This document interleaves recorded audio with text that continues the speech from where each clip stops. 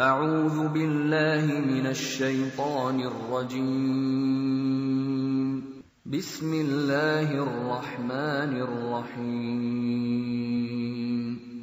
فلما وضعتها قالت رب إني وضعتها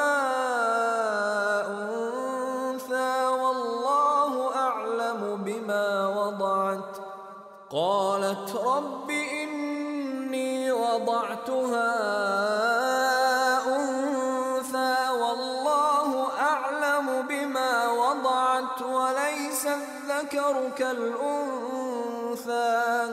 وإني سميتها مريم وإني أعيذها بك وذريتها من الشيطان الرجيم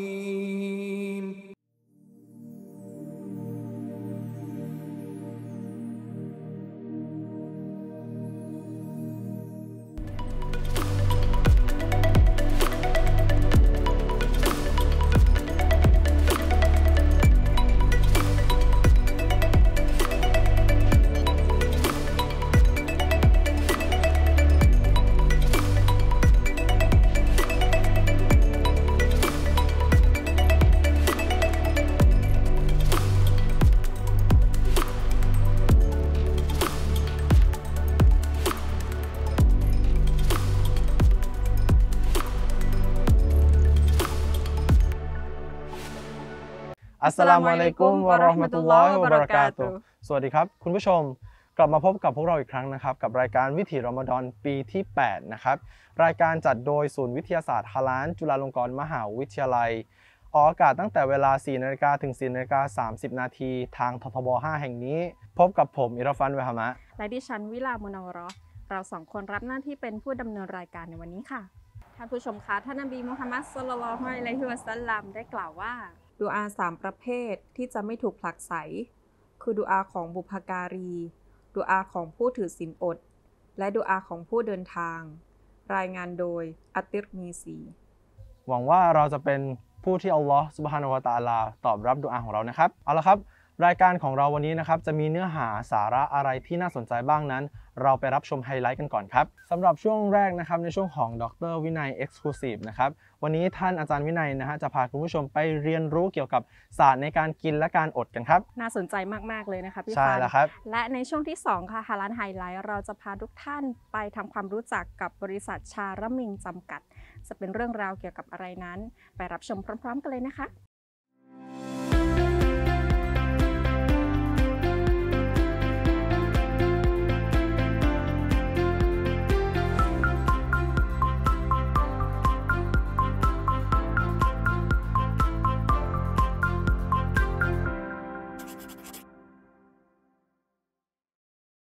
อัสสลามุอะลัยกุมวะเราะห์มะตุลลอฮิวะบะเราะกาตุขอสวัสดีท่านผู้ชมที่กำลังรับชมรายการทุกท่านค่ะ พบกับดิฉันนุริซันมหมัด กับช่วงของดรวินัย Exclusive ซึ่งเราได้รับเกียรติจากรองศาสตราจารย์ ดรวินัยดะฮลัน ผู้อำนวยการผู้ก่อตั้ง ศูนย์วิทยาศาสตร์ฮาลาจุฬาลงกรณ์มหาวิทยาลัย ที่จะมาพูดคุยและก็ให้ความรู้กับทุกท่านวันนี้ค่ะ ซึ่งท่านก็นั่งอยู่กับดิฉันแล้วนะคะ อ่ออัสสลามุอะลัยกุมค่ะอาจารย์วินัยมะลัยกุมุสสลามวะเราะมะตุลลอฮ์ค่ะ ในเดือนรอมฎอนแห่งนี้นะคะ แน่นอนว่าหลายท่านก็คือเตรียมความพร้อมที่จะอืมประกอบอามัลอิบาดะห์เพื่อครับที่จะครับเก็บเกี่ยวผลบุญต่างๆ ให้ได้มากที่สุดตลอดครับเดือนรอมฎอนนี้นะคะครับและนอกจากนั้นเนี่ยสิ่งที่ให้ความสนใจไม่แพ้กันเลยค่ะ ก็คือในเรื่องของสุขภาพครับวันนี้ก็เลยอยากจะมาพูดคุยให้อาจารย์ได้อธิบายในเรื่องของทั้งศาสตร์การกินและก็การอด นะคะครับในช่วงแรกก็อยากจะให้อาจารย์ได้อธิบายในเรื่องของการกินก่อนค่ะว่ากินอย่างไรเพื่อที่จะให้มีสุขภาพดี และก็สามารถที่จะยืดอายุไขได้ด้วยค่ะอาจารย์ครับเอ่อเรื่องนี้เรื่องสำคัญนะครับเอ่อจริงๆแล้วเนี่ยรอมฎอนนี่พวกเรารอกันมาค่ะปีใช่ค่ะนะเอ่อผมเนี่ยเดือนรอมฎอนนี่ต้องถือว่าเป็นเดือนที่ดีที่สุดนะค่ะสำหรับผมนะครับ แล้วก็ตลอดระยะเวลา หนึ่งปีนั้นเนี่ยค่ะนอกเดือนรอมฎอนผมก็ถือศีลอดนะสัปดาห์ละสองวันค่ะนะฮะอ่าทำอย่างนี้มาตลอดหลายปีที่ผ่านมานะครับนะแล้วก็มีความรู้สึกเลยว่าสุขภาพเนี่ยดีนะอ่าเวลาไปบรรยายอะไรต่ออะไรที่ไหนเนี่ยคนชอบถามเรื่องกินค่ะจนะเออค่ะอาจารย์อาจารย์วินัยจะต้องกินอย่างไรอะไรต่ออะไรเนี่ยไม่มีใครเคยถามเรื่องอดเรื่อนะงอดนะค่ะฮะแต่ว่าจริง ๆ ในศาสตร์การกินนั้นเนี่ยมันมีเรื่องการอดอยู่ด้วยค่ะนะอัน ในทางฟิสิกส์เนี่ยเขาบอกว่า หนาวนั้นไม่มีมีแต่ร้อนน้อยอาจริงๆเขากำหนดเรื่องของการอืมจริง ๆ แล้วเนี่ยในเรื่องของการกินก็เหมือนกันนะนะอดเนี่ยมันไม่มีมีแต่กินน้อยอ่านะค่ะเพราะฉะนั้นเวลาเราคุยกันเรื่องของการอดนั้นหมายความว่าเรากินน้อยค่ะในหลักการของอิสลามเนี่ยวันนี้ทั่วโลกเขาไปใช้กันหมดนะครับก็เรียกว่า intermittent fasting อืมการค่ะอดอย่างไม่ต่อเนื่องค่ะอ่า มุสลิมเนี่ยที่เราอดกันในเดือนรอมฎอนเนี่ยเราอดยังไม่ต่อเนื่องค่ะเดี๋ยวนี้ฝรั่งเอาไปใช้กันนะอ่าคนในประเทศต่างๆเนี่ยมาใช้กันก็เรียก IF อ๋อที่เรียกว่า IF ใช่ไหมใช่คะใช่ IF ก็จะมีอยู่หลายแบบนะครับค่ะนะฮะแต่ว่าในอิสลามเนี่ยมันจะมีพิเศษค่ะขึ้นมาอีกนะอ่าที่ฝรั่งเศสเนี่ยอ่าเขาให้อดอ่า45 วันอืมถ้าสมมติเราต้องการมีสุขภาพที่ดีก็ให้อดค่ะ45 วัน มีคนถาม เอ๊ะ ถ้าอดแบบมุสลิมเนี่ยเขา30วันทำไม พวกเราต้องอด45วัน45วันอ่าแบบอดแบบอิสลามนะค่ะแต่ว่าอด45วันเขาบอกว่าในอิสลามเนี่ยมันมีเรื่องของจิตใจด้วยอืมอ่าค่ะซึ่งตรงนั้นน่ะเท่ากับ50%ของการอดทั้งหมดนะอันนี้เราก็จะได้อ่าเข้าใจกันเขาถามกันนะครับว่าถ้าสมมุติว่าต้องการที่จะกินอาหารนะฮะเพื่อให้มีชีวิตยืนยาวเนี่ยจะต้องกินยังไง Professor Alexander Leaf ก็อยู่ที่มหาวิทยาลัยฮาร์วาร์ดตอนนี้เสียชีวิตไปแล้ว อายุ 91 ปีตอนที่เสียชีวิตนะครับเมื่อ 10 กว่าปีมาแล้วเขาเสียชีวิตนะคนนี้เนี่ยเอ่อเขาทำการศึกษาคนที่มีอายุเกินร้อยปีทั่วโลกเลยอืมนะค่มีมีจำนวนคนมาศึกษาให้ศึกษาเนี่ยเป็นร้อยๆเลยนะฮะในที่สุดแล้วก็พบว่ามันมีตัวรวบอยู่ 3 ตัว ที่ทำให้คนเหล่านี้มีอายุยืนค่ะนะ แต่มันไม่ได้หมายความว่าถ้าเราทำตามนั้นแล้วเราจะต้องมีอายุยืน แต่หมายความว่า โดยค่าเฉลี่ยค่ะทางวิชาการที่เขายืนยันได้นะครับ อันที่หนึ่งเนี่ยกินน้อยเห็นไหมอืค่ะกินน้อยกินน้อยนะครับนะฮะเอ่อพวกเราเนี่ยปัญหาใหญ่ขนาดนี้เนี่ยที่อ้วนเพลกันอยู่ทุกวันเนี่ยกินมากค่ะอาจารย์นะค่ะคนที่มีเอ่อชีวิตที่ยืนยาวเนี่ยค่ะเกินร้อยปีเนี่ยเขาบอกว่าคนพวกนี้บุคลิกกินช้า กินช้าเคี้ยวนาน กินน้อยนะฮะเอ่อที่อังกฤษเนี่ยก็เคยมีบอกว่าต้องเคี้ยว 32 ครั้งอืมให้กินช้าเข้าไว้ เพราะฉะนั้นเนี่ยคนที่กินน้อยเนี่ยจะมีเอ่อโอกาสที่จะมีชีวิตที่ยืนยาวนะอ่าอันที่สองเนี่ยก็คือคนที่อ่าออกกำลังกายออกนะกำลังกายมันไม่ไม่เป็นต้องประจำมาก คือใช้แรงงานอะอืม ทำงานใช้แรงงานนะครับ เดินไปโน่นเดินไปนี่อาจจะทำงานบ้านอะไรอย่างนี้ก็ได้เอ่อใช่หมได้คะได้หมดเลย บางคนเนี่ยเขาบอกว่าเอ่ออย่าอย่านั่งนานเกิน 20 นาทีอืมนั่งทำงานปุ๊บพอถึง 20 นาทีออกไปเดินละค่ะเดินไปโน่นเดินไปต้องนี่มีการเคลื่อนไหวร่างใช่กายตลอดเวใช่ลาด้วยอย่างผมตอนนี้เนี่ยค่ะเดินวันละหมื่นเก้าอืมนะค่ะเอ่อโทรศัพท์เดี๋ยวนี้มันวัดได้เทโลเมใช่เตอร์เนี่ยเราก็วัดได้แล้วก็เคลื่อนไหวร่างกายอยู่ตลอดเวลาทำงานไม่ต้องทำงานหนักนะครับ แต่ว่า ต้องมีกิจกรรมนะอันนี้อันประเด็นที่สองนะฮะอ่าประเด็นที่สามเนี่ยจะต้องมีสังคมค่ะนะคนมีสังคมเนี่ยมีเพื่อนอาอยู่กับเพื่อนกินข้าวกับเพื่อนอืมอยู่กับครอบครัวกินข้าวกับครอบครัวค่ะอะไรก็แล้วแต่เนี่ยนะในอิสลามเขาบอกมีจามะอะห์นะละหมาดก็ละหมาดด้วยกันค่ะนะครับ เวลากินก็กินด้วยกันนะ ไม่ใช่นั่งเงียบเหงา เดี๋ยวนี้กินกับคอมพิวเตอร์ใช่นะนั่งดูทีวีอะไรต่างๆ ในลักษณะแบบเนี้ยคนพวกนี้นี่มีแนวโน้มที่จะอายุสั้นอืมอันนี้ก็เป็นวิธีกินง่ายค่ะๆสามสามประการเท่านั้นน่ะสามประการที่นะทำให้คนอายุยืน ใช่ค่ะทีนี้ค่ะแค่กินน้อยอย่างเดียวไม่พอค่ะอาจารย์ต้องรู้วิธีการอดด้วยอ่านะอ่าในอิสลามเนี่ยเรื่องของการอดเนี่ยเป็นเป็นศาสตร์ เป็นศรัทธา เป็นศิลปะ เป็นทุกอย่างนะครับ เพราะฉะนั้นเนี่ยอ่าเราจำเป็นที่ต้องมีความเข้าใจนะฮะอ่าในเดือนรอมฎอนเนี่ยมันจะมีความพิเศษต่างจากการอดแบบที่ฝรั่ง หรือว่าคนทั่วไปก็อดที่เขาเรียก IF IF ค่ะ IF นั้นเนี่ยอด 16 ชั่วโมง กิน 8 ชั่วโมง แต่ว่าในอิสลามเนี่ยในการถือ IF หรือ Islamic Fasting เนี่ยเราไม่ใช่มีเรื่องเฉพาะ กินหรือไม่กิน เรามีเรื่องการนอนด้วย เพราะฉะนั้นอ่ามีมีคิวเรตการนอนเข้ามาเกี่ยวค่ะนะเพราะว่าเวลาคนเขาจะอดแบบ IF นั่นนะเขาต้องการลดน้ำหนัก ส่วนใหญ่จะลดน้ำหนัก แต่อิสลามเนี่ยการอิสลามิกฟาสติ้งนั้นน่ะค่ะเพื่อฝึกร่างกายในการที่จะให้เอ่อความเห็นอกเห็นใจคนอื่น เพื่อที่จะฝึกทำให้เราอดทนอะไรต่ออะไรมันมันมีวัตถุประสงค์ไม่เหมือนกันนะ เพราะฉะนั้นเนี่ยอ่าอันนี้เป็นเหตุผลที่ว่า เฮ้ยถ้าเอ่อคนอิสลามเขาอดเนี่ยสามสี่วันพอ แต่ถ้าพวกคุณอด45อ่านะเพราะมันมีเรื่องอื่นด้วยในการที่จะค่ะทำให้เราได้กำไรเพิ่มเติมขึ้น ในกรณีของอาการอดนะฮะในที่สุดแล้วมันจะมีผลดีเพิ่มขึ้นในเรื่องของออโตฟาจีก็คือทำให้ร่างกายเราขจัดสิ่งสกปรกออกไปอืมนะฮะก็แล้วนเป็อกนกระบวนการของใช่ของร่างกายเองฮะฮะมีประเด็นคำถาม นะเขาบอกว่า เอ๊ะมุสลิมเนี่ยเวลาอดแล้วนี่สุขภาพเห็นดีขึ้นเลย เราเราต้องไปดูการอดแบบอิสลามแบบหนึ่งอีกแบบหนึ่งนะแบบเอ่อซุนนะห์ค่ะก็คือเขาเรียก 5 ต่อ2อืม5ต่อ 2 ไดเอทเนี่ยก็คือกินปกติ 5 วัน แล้วอด 2 วันนะส่วนใหญ่ก็แนะนำให้อดห่างกัน เขาก็เลยอดแบบรอสูลุลลอฮ์ก็คือวันจันทร์กับวันพฤหัก็สตรงกับ อันนี้เนี่ยผมแบบซุนนะห์เลยผมอดค่ะผมก็อดตลอดนะครับ แต่ว่า ในกรณีของการทำ5ต่อ2ไดเอทเนี่ยนะแล้วก็อย่างที่รอสูลุลลอฮ์ทำเนี่ยบางทีไม่เหมือนพวกเราทำเวลาช่วงไหนช่วงไหนที่เราอดนั้นเนี่ยนะครับอย่างเดือนรอมฎอนเนี่ยค่ะเอ่อเราเปลี่ยนเวลาการกินเท่านั้นนะแต่ว่าพลังงานได้เท่าเดิม บางคนมากกว่าเดิม ครบครบมื้อออ่าใช่ พอละสินอดตอนเย็นเสร็จเรียบร้อยแล้วกินต่อ มีมื้อดึกอีก มื้อดึกนะฮะเพราะฉะนั้นเนี่ย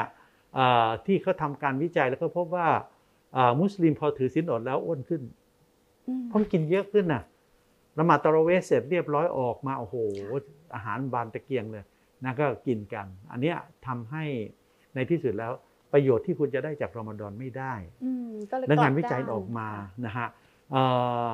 เอ่อสิ่งที่เขาไปพบเนี่ยนะครับมีนักวิจัยอิสราเอลอืมก็สนใจนะว่าเอ๊ะทำไมมุสลิมเนี่ยถือศีลอดในเดือนรอมฎอนแล้วเข้มแข็งขึ้น แล้วก็พบว่า ถ้าจะถือศีลอดแบบท่านเอ่อศาสดานบีเนี่ยอาจจะต้องถือศีลอดแบบคนเบดูอินอืมอ่าคนเบดูอินเนี่ยเวลาเขาถือศีลอดในเดือนรอมฎอนเนี่ยเขาทำงานปกติค่ะเขาไม่นอนอืมนะฮะพักผ่อนกันทั้งวัน แล้วเวลาเขาอดวันที่อดเนี่ยเขาจะกินน้อยนะสมมุติว่าอ่าในวันเดือนทั่วไปเนี่ยเราก็กินปกตินะวันหนึ่งค่ะสองพันแคลอรี่ แต่ว่าถ้า ในเดือนถือศีลอดเนี่ยวันหนึงเขาทานแค่หนึ่งในสี่อืมสุขภาพมันได้ตรงนั้นค่ะนะฮะแล้วในที่สุดก็พบว่า HDL ก็ขึ้นนะอ่าไขมันก็ลดลงความดันก็ลด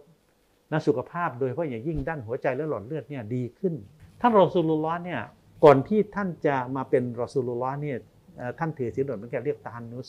อืมตานุสนี่กินน้อยค่ะหลังจากนั้นเนี่ยนะครับพอท่านมาถือศีลอดในเดือนรอมฎอนท่านก็กินน้อย เนี่ยอันนี้อันนี้ก็เป็นอ่าเป็นเคล็ดอืมในเรื่องของการถือศีลอดค่ะนะเพื่อที่จะทำให้เรามีสุขภาพที่ดี อีกเรื่องหนึ่งที่อยากอยากจะบอกเลยก็คือในการถือชิ้นอดนั้นน่ะมันทำให้เรามีอายุไขที่ยืนนานขึ้นอืมหลายคนก็สงสัยเอ๊ะค่ะอ่าการที่มันมีอายุไขยืนนานขึ้นเพราะเราอดอาหารเนี่ยมันมีปัจจัยอะไรค่ะเอ่อมีงานวิจัยพักหลังเนี่ยปี 2022 เนี่ย นะ2565 นี่มีงานวิจัยออกมาเยอะอืมเออเกี่ยวกับถือศีลอดนี่เหรอคะ ใช่ค่ะอาจารย์เอ่ออันหนึงเนี่ยเขาพบว่าต่อมไทมัสต่อมไทมัสที่อยู่บริเวณตรงคริอมคอใช่ไหมเนี่ยคะลงมาที่หน้าอกนะฮะอยู่เหนือหัวใจอะมีคนถามอืมพอเราเริ่มแก่เมื่อไหร่ก็บอกเริ่มแก่เมื่อเราเกษียณอ่าอายุค่ะ65ไงอันดับ60ฝรั่งอ่าถ้าเป็นมหาอาจารย์มหาวิทยาลัยก็กำหนดตามการเกษียณค่ะ65กำหนดตามการเกษียณ แต่ถ้าต่อมไทมัสเนี่ยมันอายุมันจะเริ่มแก่เมื่ออายุ 40อืมอ๋อค่ะ ไขมันจะเริ่มมาเกาะที่ต่อมไทมัส ต่อมไทมัสเนี่ยทำหน้าที่ในการสร้างภูมิคุ้มกันอืมนะ เพราะฉะนั้นนะพอเราอายุมากขึ้นเนี่ยปรากฏว่าไขมันพอกที่ต่อมไทมัสต่อมมากค่ะอ่าภูมิคุ้มกันอันนี้เป็นเหตุผลว่าทำไมคนแก่เนี่ยอ่าภูมิคุ้มกันลดลงอืมนะฮะอ่าไทมัสเนี่ยเวลาเราพูดถึงอ่าเซลล์ที่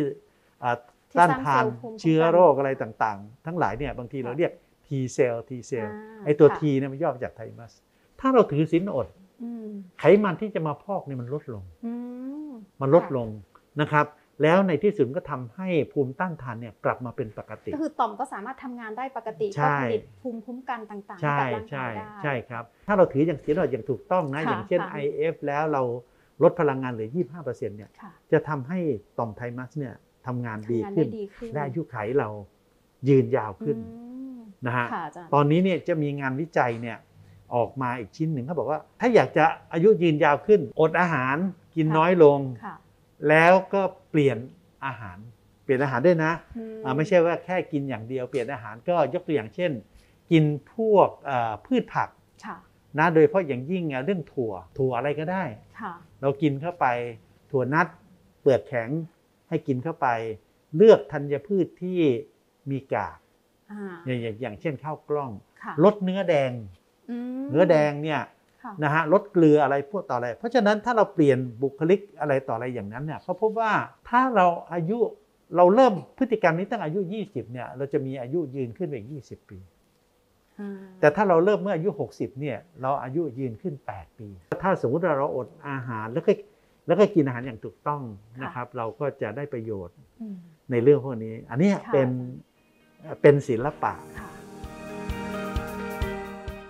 ก็ก็ถือว่าเป็นประโยชน์อย่างมากเลยค่ะอาจารย์ครับในเรื่องครับของศาสตร์การกินแล้วก็การอด เพราะว่า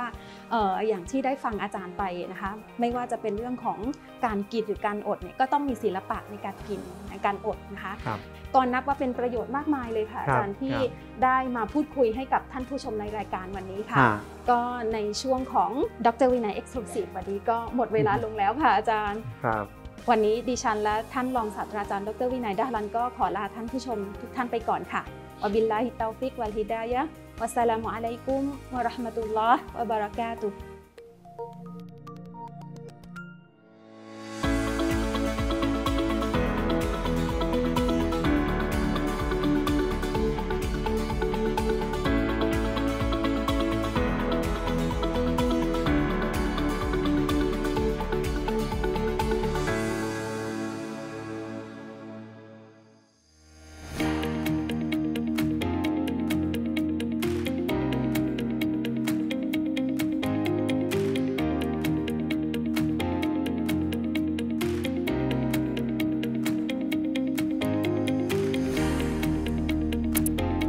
อัสสลามุอะลัยกุมวะราะมะตุลลอฮ์วะบะเราะกาตุสวัสดีครับ กลับมาพบกับช่วงฮาลานไฮไลท์อีกครั้งหนึ่งนะครับ วันนี้นะครับเราก็จะมาเยี่ยมชมบริษัทชาลามิงจำกัดครับซีน่า ค่ะ งั้นเราเข้าไปดูกันเลยดีกว่าค่ะ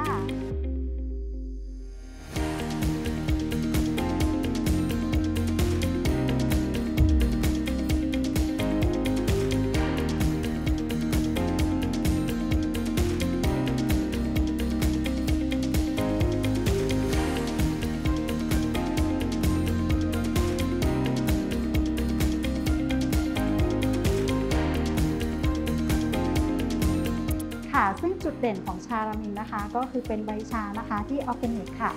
ลักษณะการปลูกนะคะ ก็จะเป็นการปลูกแบบขั้นบันไดค่ะ และตัวชาของเขานะคะ ก็จะได้รับแสงแรกนะคะ ในตอนเช้าของทุกๆวันด้วยค่ะค่ะ เพื่อให้ตัวชานะคะ ได้ผลิตสารต้านอนุมูลอิสระ และสารที่ให้คุณค่านะคะ รสกลิ่นนะคะ ที่ดีตามธรรมชาติไว้ได้มากที่สุดค่ะ กว่าจะผ่านกระบวนการนะคะ จนมาผลิตเป็นซองนะคะ ให้เราได้ดื่มกันนะคะเขามีหลากหลายขั้นตอนมีหลากหลายกระบวนการทีเดียวค่ะ จะเป็นอย่างไรนั้นเดี๋ยวเราไปคุยกับคุณจักรินกันต่อเลยดีกว่าค่ะ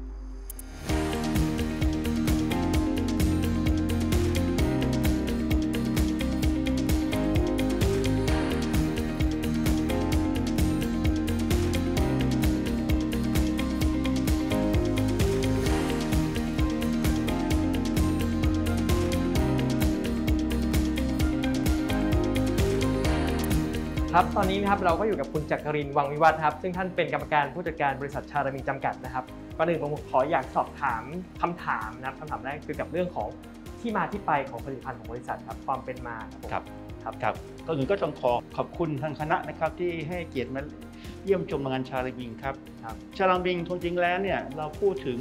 การทำชาบุกเบิกในอุตสาหกรรมใบชาของไทยเนี่ยเราเป็นอันดับหนึ่งนะครับและเป็นอันดับแรกของประเทศไทย ที่ทำเรื่องของ black tea หรือชาดำนะครับครับผมในอดีตเนี่ยสวนชาของทางภาคเหนือเราเรียกเป็นสวนเมี่ยง ถ้าเราดูเนี่ยคือต้นเมี่ยงใหญ่ ๆ ที่คนทางเหนือเขาจะเก็บเอาใบเมี่ยงมาทำการหมักครับนำนำผสมเรื่องของเครื่องมือเครื่องไม้หลายๆอย่างแล้วมาอมกัน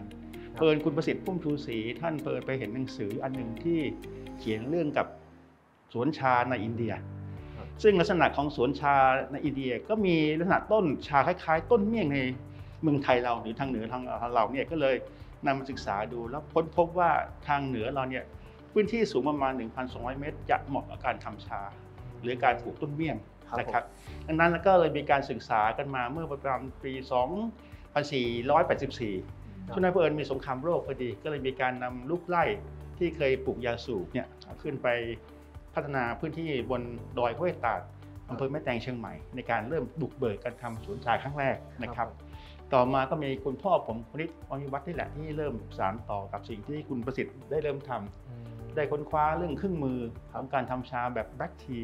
ซึ่งต้องนำเครื่องมือมาจากอินเดียเป็นหลักครับเพราะว่าในอดีตเนี่ยเครื่องมือการทำชาในเมืองไทยยังไม่มีครับก็เลยต้องใช้เครื่องมือนำเข้าจากอินเดียก็เริ่มทำมาเรื่อยๆส่วนผมรุ่นที่3นะครับก็ 84 ปีพอดีสำหรับชาหมิงนะครับครัที่บเริ่มทำชามาแล้วเป็น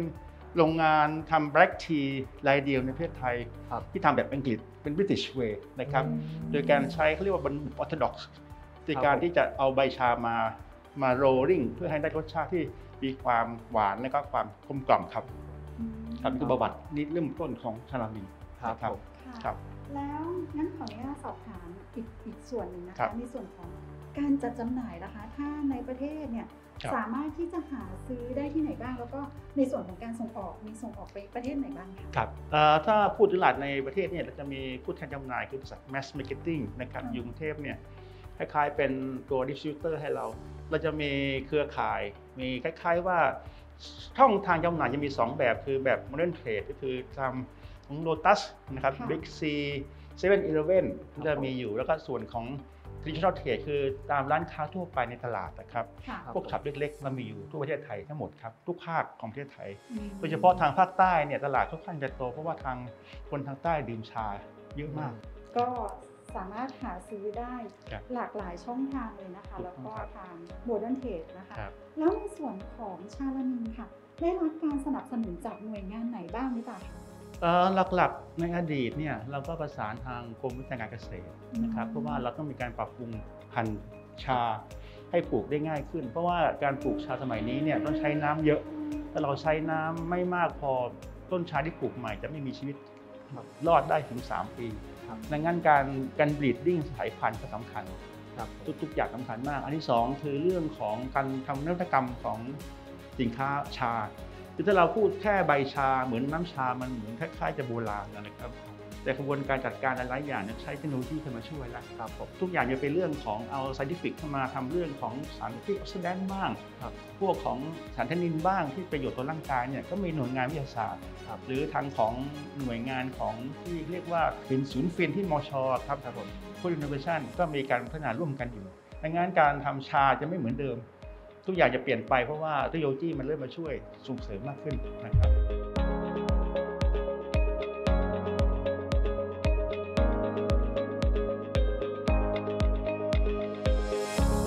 สำหรับกระบวนการผลิตของชาลามีของเรานะครับ ก็จะเริ่มตั้งแต่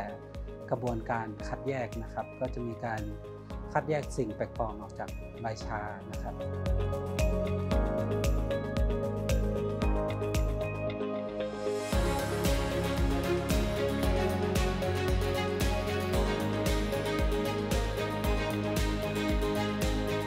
เราก็จะได้ชาที่ผ่านการคัดเรียบร้อยนะครับ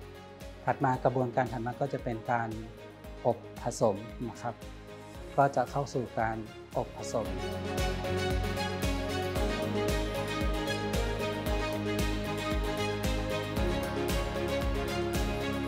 กระบวนการก็คือการบรรจุชาซองนะครับ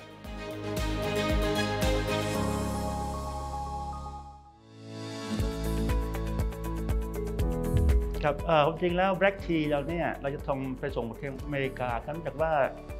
คนอเมริกาคนยุโรปเนี่ยทาน black tea หรือชาดำมากกว่าคนเอเชีย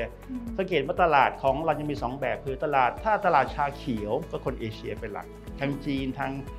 ทางเอเชียทั้งหมด แต่ถ้าเป็นตลาดชาดำหรือ black tea ก็เป็นยุโรปกับอเมริกาครับซึ่งเราเป็นอินซีออร์แกนิก SDA ผลิต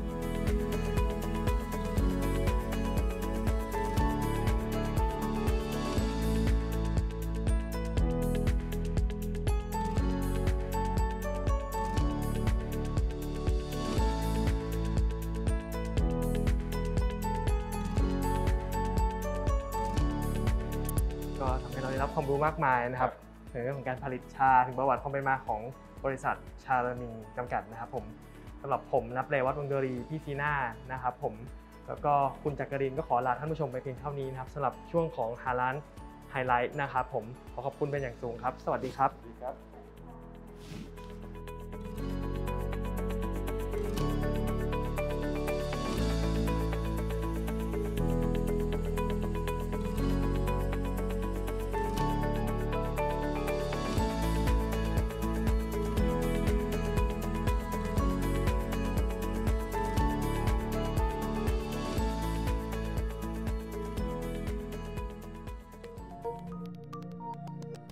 เป็นอย่างไรบ้างคะท่านผู้ชมสำหรับรายการทั้ง 2 ช่วงที่เราได้นำเสนอไป เชื่อว่าทุกท่านน่าจะเข้าใจในเรื่องของศาสตร์แห่งการกินและการอดมากยิ่งขึ้นนะคะ ท่านผู้ชมครับ ในเดือนรอมฎอนนะครับ เราควรขอดุอากันให้มากๆนะครับ เพราะดุอานั้นคืออิบาดะห์ครับ ใช่แล้วค่ะ รายการวิถีรอมฎอนปี 8 นะคะออกอากาศทุกวันตั้งแต่เวลา 4 นาฬิกาถึง 4 นาฬิกา 30 นาทีทางทรบ 5 แห่งนี้ค่ะ ท่านผู้ฟังตื่นมาทานข้าวโซฮดแล้ว อย่าลืมรับชมและให้กำลังใจกับทางทีมงานด้วยนะคะ ใช่แล้วครับสำหรับวันนี้นะครับ รายการของเราก็หมดเวลาลงแล้วนะครับ เจอกันใหม่ในวันพรุ่งนี้ เราสองคนขอตัวลาไปก่อนครับอัสสลามุอะลัยกุมวะเราะห์มะตุลลอฮิวะบะเราะกาตุฮ์สวัสดีครับ สวัสดีค่ะทา Academy แหล่งเรียนรู้ช่องทางใหม่ เพื่อการ up skill และเสริมสร้างศักยภาพ โดยเรียนรู้จากผู้มีประสบการณ์ตรง จากหลากหลายสาขาวิชา ไม่ว่าจะเป็นวิทยาศาสตร์ ประวัติศาสตร์ สังคมศาสตร์ เศรษฐศาสตร์ และศาสตร์อื่นๆที่เกี่ยวข้องค่ะ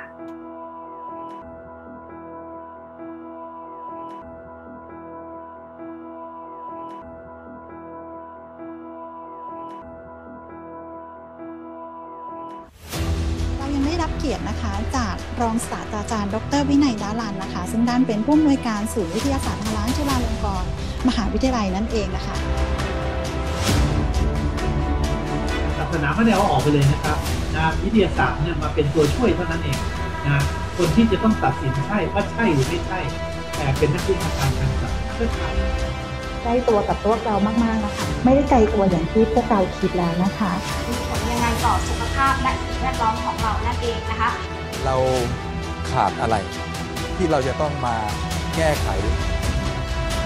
นะท่านรอสูลร้อนเนี่ยท่านบอกเลยนะครับมีคนอ่าจูงอูดมามีกิจกรรมลักษณะนี้นะครับจะเป็นการช่วยกระตุ้นให้เด็กเรียน และก็ทำกิจกรรมอย่างสนุกสนานซึ่งในปัจจุบันนะคะ เรามีศูนย์ให้บริการทั้งหมด 3สำนักงานด้วยกันนะคะ ได้แก่กรุงเทพปัตตานีและก็เชียงใหม่ค่ะท่านผู้ฟังท่านใดค่ะมีคำถาม หรือว่ามีข้อสงสัยเนี่ยสามารถพิมพ์เข้ามาได้ค่ะในแชทบ็อกซ์หรือว่า Q&A ค่ะ ด้วยวิเคราะห์กันแบบนักวิทยาศาสตร์นะครับนะไม่ใช่แบบนักประวัติศาสตร์ เราถึงต้องเชื่อมโยงของเรื่องของหลักศาสนากับเรื่องของวิทยาศาสตร์ครับมันมันไม่ได้แยกกันรายการของเรานั้นอ่าทั้งพวกเราที่เป็นมุสลิมแล้วก็ไม่ใช่มุสลิมนะครับ เราไม่ได้จำกัด สามารถติดตามทา Academy ได้ทุกวันพุธตั้งแต่เวลา 11นาฬิกาถึง 12นาฬิกาทางซูมเว็บินาและ Facebook Live ศูนย์วิทยาศาสตร์ทลานจุฬาลงกรณ์มหาวิทยาลัย